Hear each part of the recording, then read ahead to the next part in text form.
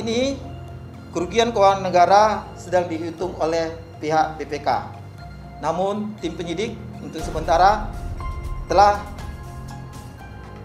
menghitung kerugian negara sementara sebesar 23 triliun 739 miliar 936 juta 916 ribu 742,58 sen.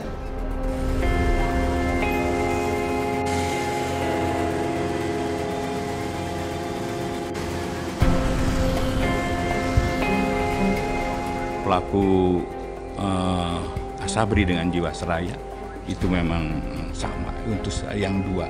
Tapi ini ada tujuh orang calonnya, bisa lebih lagi.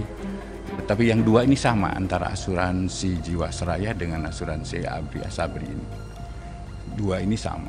Dan insya Allah asetnya masih masih ada.